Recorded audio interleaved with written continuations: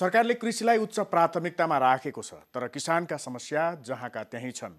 वर्षभरि मेहनत गरेर पसिना बगाउने किसान भने उत्पादनको मूल्य नपाएर आँसु बगाउने स्थितिमा पुगेका छन्। के गर्ने हजुर? अब अब के गर्ने? अब मर्ने मर्ने जिने। यो मालिक त साला केही पनि पैसा दिँदैन। उहाँ हुनुहुन्छ सर्लाहीका उखु किसान रामविलास महतो। सत्तरी हिउँद कटेका उहाँको आँखाबाट यो आँसु त्यसै झरेको होइन। गुलियो उखु खेती गरेका उहाँको मन चिनी मिलले। अमिलो बनाइदिएपछि यो आँसु झरेको हो। सर्लाहीको अन्नपूर्ण सुगर मिलले उखुको पैसा नदिएका कारण आफ्नो घर जग्गा नै लिलाम हुने स्थिति आएपछि उहाँ मिल सञ्चालक राकेश अग्रवाललाई खोज्दै जीवनमै पहिलोपल्ट काठमाडौँ आउनुभएको छ। तर अग्रवाललाई नभेटेपछि उहाँ यसरी भक्कानिनुभयो के गर्ने हजुर अब के गर्ने? अब मर्ने मर्ने? जिने। यो मालिक त साला केही पनि पैसा दिँदैन। दुख हिँड्दा नै काठमाडौँबाट यहाँ कहिले आएको थिएँ पढु सालको कहेको मतलब सरकारले दिन्छ दिएन।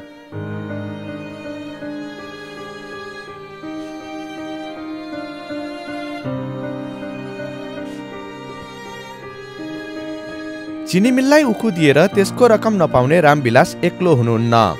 अन्नपूर्ण चिनी मिलबाट ठगिएका उहाँ जस्तै दुई सय किसान यति बेला उखुको पैसा माग्दै काठमाडौँ आइपुगेका छन्।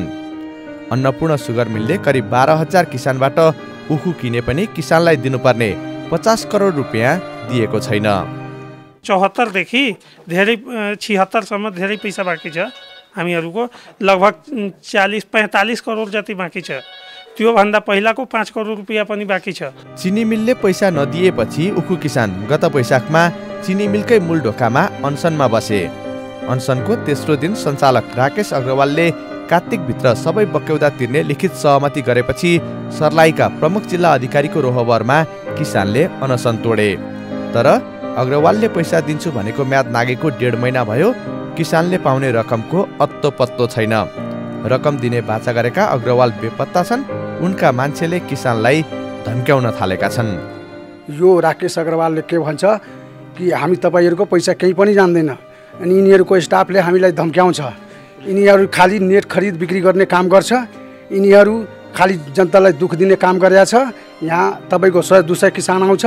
उहाँलाई घरमा गएपछि के भन्छ कि तपाईँहरूको पैसा हामी जान्दै जाने तपाईँहरूले जहाँ जानु छ त्यहाँ जानु छ।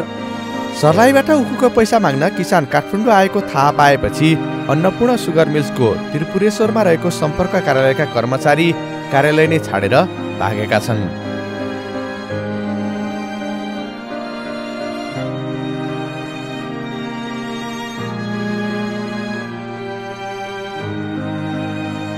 कार्यालयले अबदेखि उखु मिलको कुनै पनि काम यहाँबाट नहुने भन्ने सूचना टाँसेपछि किसान झनै अन्यलमा छन्।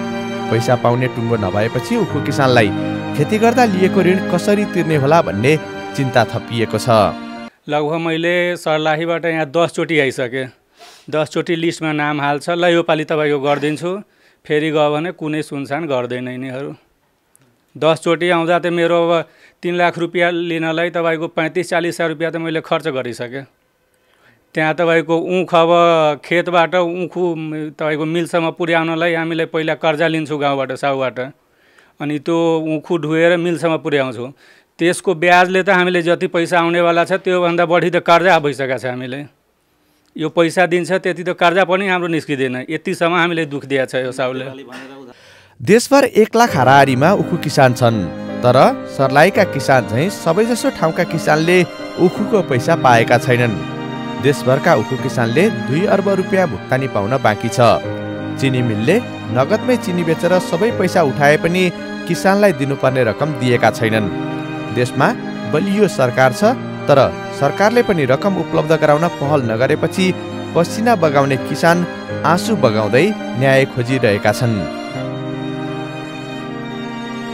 हिमालय टेलिभिजनका लागि क्यामेरामा गणेश भूषालका साथमा विनोद आचार्यको रिपोर्ट।